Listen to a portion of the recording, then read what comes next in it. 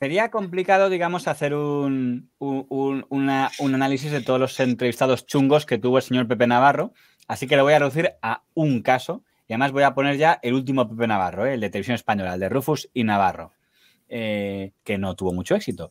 Pero el hecho de que no tuviera éxito no quiere decir que no intentara hacer cosas que podrían considerarse chungas como estas. Abordaremos un asunto muy serio. En España se cometen anualmente algo así como 8.000 agresiones sexuales. Escucharemos el testimonio estremecedor de un violador.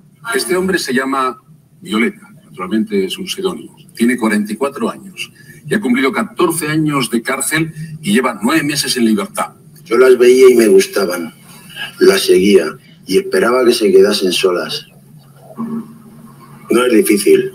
Tú te sientes empujado a veces pienso que me están pidiendo que las entre, que las toque. Luego pienso que soy un hijo de puta. Pero se me pasa. Procuro olvidarlo. No sé si soy un delincuente o un enfermo. Y si estoy enfermo, nadie me ha curado. Ayer hablamos de un hombre al que llamamos Violet. No sé si. ¿Qué, opinas de, este tipo de entrevistas? Es verdad que no podemos saber si es un actor, porque es un programa. Está leyendo y, está. Sí, es que está leyendo. Como se ve, no, está. No es una entrevista, es un testimonio. Hmm. Es un testimonio que recuerda un poco al de.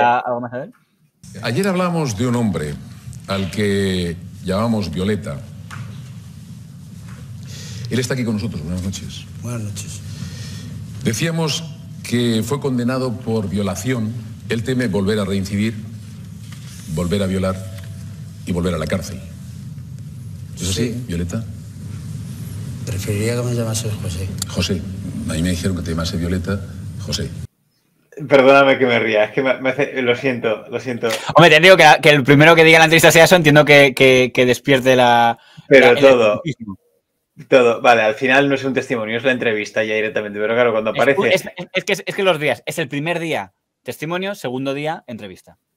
Vale, aparece con la peluca, con ese bigote cuadrado o rectangular a lo Groucho Mars, ¿sabes? Las gafas de sol. Y le dice lo de, preferiría que me llevara José. ¿Quién coño se inventó lo de Violeta? Eh, en fin, no sé, por el violador, ¿sabes? Que es que es... Ah, ah que no lo había pillado, vale, vale, vale. Era que, que estaban hilando fino. Por eso es todo un poco cutre. Pero más allá de eso, más allá de eso, ¿Qué quieres que te diga? la pregunta em, es, ¿te parece que fue oportuno? En este caso hay que decir que no puedo decir que funcionara en audiencia, porque le fue muy mal al programa Rufus y Navarro. Pero bueno, no por eso, ¿eh? Le fue mal por otros motivos seguramente. Seguramente en el Mississippi hizo entrevistas de ese tipo que sí le fueron bien. Pero en esta, esta en concreto no le fue bien en audiencia. Nadie se enteró ni que existía el programa Rufus y Navarro. Pero bueno, eh, te pregunto el concepto de voy a traer a un violador anónimo para que nos cuente su testimonio y entiendo que no para presumir de ello, sino para decir, es que estoy enfermo, tal. Eh". Depende cómo fuera el es para que la gente comprenda el fenómeno de la violación o para que, no sé, o simplemente a lo mejor... No, es que no se puede comprender mucho, más pensar que, es, mm, como te digo, estás entrevistando a un sociópata directamente, estás entrevistando... Sí, siempre partiendo de la base de que no sea un actor. Sí, partiendo de esa base, pero me da igual, pero es alguien sino que está... ¿Te parecería mal o dice, no, es un actor para que la gente... Hombre, pues sí me parece mal porque estás engañando ya a la audiencia, es peor todavía casi, sí, me parece lamentable, pero vamos... si fuera, pues vamos a la opción 2, es real, es uno expresidiario, que a mí conocido de alguien de la producción y lo hace. Si es que me cuesta en este caso porque tampoco sé qué se puede buscar de una persona como esta. Estamos hablando de un psicópata, estamos hablando de un sociópata, alguien que, realmente con el que no puedes razonar. No le puedes buscar el discurso, El discurso habitual antitele eh, diría, va, lo único que buscaba era audiencia y no buscaba, no tiene ningún otro interés que decir, mira, el impacto. Yo he traído aquí a un violador a mi mesa. Ahora, y Sardá y Buenafuente no se han atrevido, que eran los, los siguientes con los que estaba compitiendo. Pues es verdad que hay que decir que Sardá y Buenafuente hicieron muchas cosas chungas, pero no jugaron mucho a esto. Te digo que aquí me, dejas un poco pillado. No sé qué decirte. O sea, por un lado, a ver, es que a mí, desde el punto de vista psicológico, me parece muy interesante el poder hablar con un violador. Entiéndeme a qué me refiero. O sea, el poder charlar con él. Eh, me parece interesantísimo.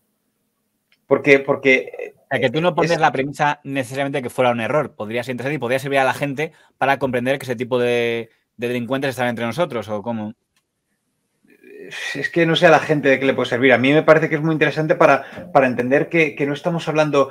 Oye, ha- hay, hay gente, como nuestro compañero Jaime Pérez de Sevilla, que le encanta eh, los reportajes sobre criminales, los documentales sobre criminales. Con lo cual, si a alguien le interesa mucho conocer cómo fue, yo que sé, Barba Azul, le puede mejor a alguien que le interesa conocer el fenómeno de este tipo de delincuentes. Sí, pero una cosa es conocer el fenómeno, que te lo cuenten, que te cuenten la historia, y otra es pagar a Barba Azul para que te cuente cómo tenía no sé cuántas mujeres ahorcadas en su sótano.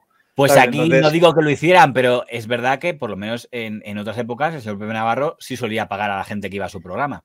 A mí en este caso lo que me parece es, de, como te digo, desde el punto de vista psicológico, muy interesante el eh, tener a una persona que lo que estás hablando de- es de alguien que eh, su mente está, está en otra dimensión realmente, es que está, está en, otro, en otro mundo y es para, no para comprenderle, para decir, a ver cómo piensa esta persona.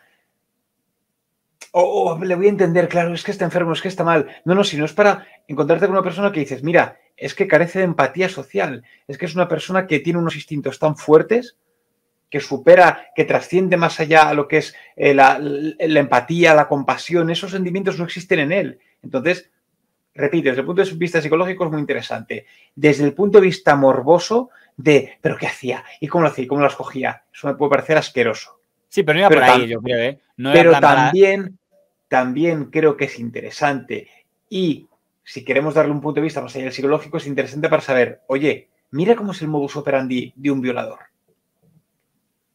¿Sabes cómo es el...